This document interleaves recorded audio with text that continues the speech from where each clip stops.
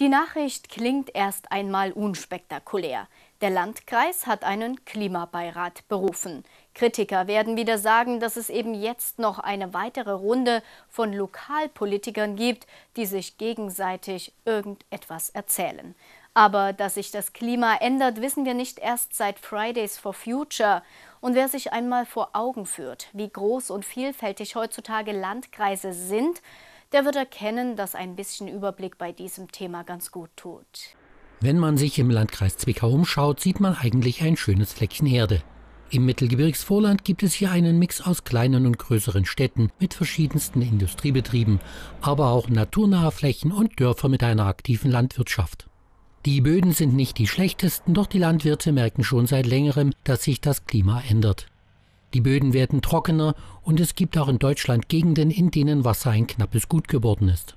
Panik und Zukunftsangst wären aber der falsche Weg und so wurde am Dienstag der Klimabeirat des Landkreises Zwickau ins Leben gerufen. Stellt sich für den Außenstehenden gleich mal die Frage, was so ein Beirat denn machen soll.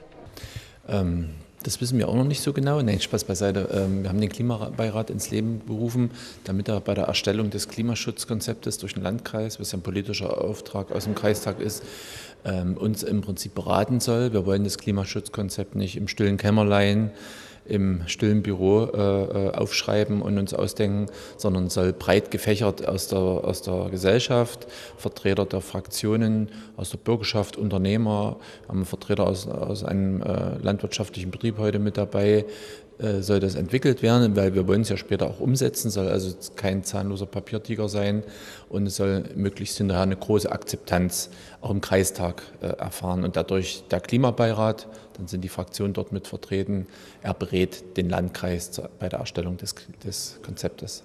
Im Landkreis gibt es dafür schon einmal die Stelle des Klimamanagers, bei dem künftig alle Informationen zusammenlaufen sollen. Denn schon bei der Auftaktveranstaltung wurde klar, dass sich schon viele mit dem Thema beschäftigen, aber mehr oder weniger jeder für sich. So brachte die Fraktion Bündnis 90 Die Grünen als Initiator des Klimabeirates vor, dass die Kommunen sich hier nicht einbringen würden. Prompt kam die Antwort, dass einige Kommunen im Landkreis bereits ein Klimakonzept haben und auch umsetzen, andere daran arbeiten. Und hier will der Landkreis mit dem Klimakonzept ansetzen. Wir werden natürlich ein solches Konzept nicht komplett neu erfinden. Das gibt es natürlich auch schon in anderen Teilen unserer Republik.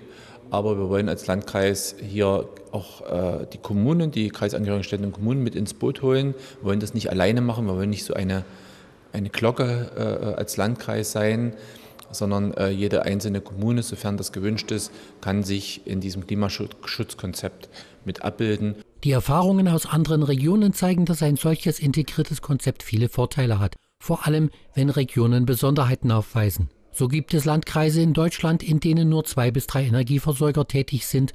Im Kreis Zwickau sind das immerhin zehn. Und die müssen beim Aufbau einer öffentlichen Ladestruktur für E-Autos koordiniert werden.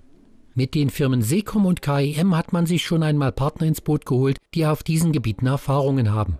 Zurzeit werden vor allem die Ist-Zustände bei den verschiedenen Bereichen, wie zum Beispiel die Möglichkeiten von Photovoltaik, untersucht.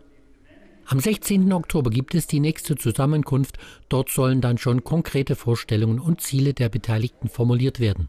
Immer mit dem Ziel, dass die Landschaft noch lange so schön aussieht und auch spätere Generationen sich ein Glas Milch von einer echten Kuh leisten können.